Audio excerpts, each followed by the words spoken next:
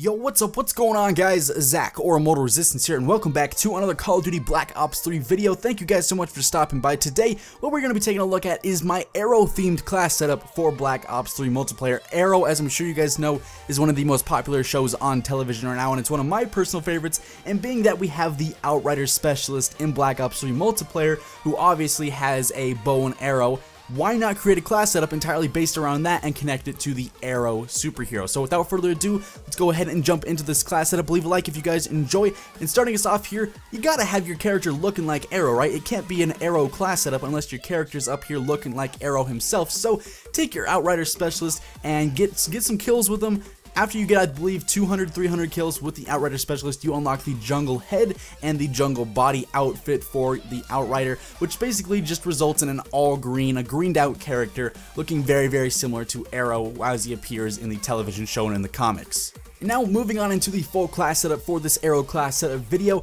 Um, in the show, Arrow does not kill people. You know, he has the vow that he doesn't want to kill anyone, whether they're good or bad, unless he absolutely has to. He just tries to render them helpless for the time being. So I decided to not add a primary onto this class setup for that specific reason.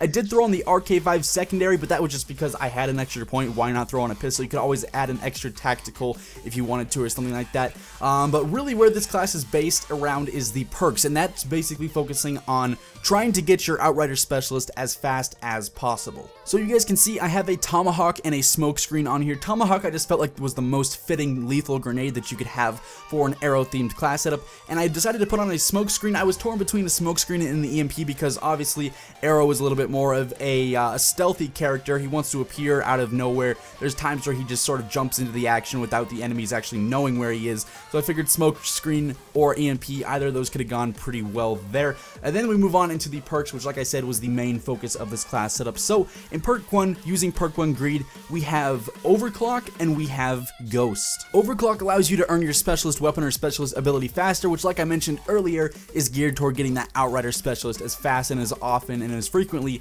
as possible. And then we have ghost because like I just mentioned, stealth is a really really key factor in the arrows combat situations. So ghost is going to keep you off the mini maps. feel like it seems more fitting to have that on there. In perk 2, we've got Tracker. Tracker allows you to see enemy footsteps occasionally throughout the map, and basically I decided to throw this on there because I feel like Arrow always has the upper hands in hunting down his uh, his enemies or his prey, whatever you want to refer to them as.